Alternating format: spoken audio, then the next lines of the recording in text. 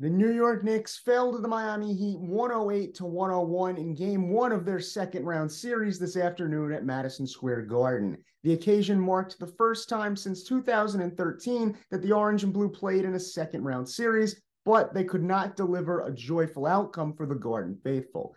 Julius Randle was ruled out right before the start of the game as he's still recovering from a left ankle sprain that he suffered in game five of the team's first round bout against the Cleveland Cavaliers. Quentin Grimes returned after being out since game three of that series, but would come off the bench. After the game, Knicks head coach Tom Thibodeau was not willing to say how close Randle is to his return, but said that the team has more than enough to compete.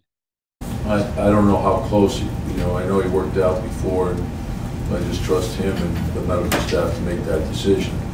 So if he could go out, I planned both ways. I planned with, with him going and, and planned if he didn't go. So, um, once they make a decision, that's it, you know, and, you with it and you get ready with what you have. So we have more than enough. Obi Toppin and Josh Hart started in place of Randle and Grimes, but it was RJ Barrett who stole the show early. Barrett scored or assisted on 18 of the first 28 New York points and helped propel the Knicks to a 32 21 lead by the end of the first quarter. By half, the Knicks led Miami 55 to 50, and the combination of Jalen Brunson and Barrett had already combined for 28 points. Overall, Barrett went on to tally a game high 26 points, along with nine boards and seven assists. Jalen Brunson finished his day with 25 points and seven dimes. All looked fine, but Miami was a different team in the second half.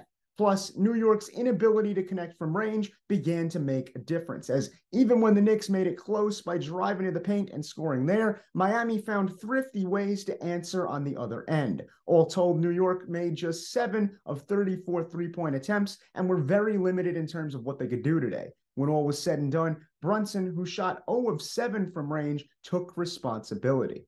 Was horrific. Very uncharacteristic by me, and um, yeah, this one's on me.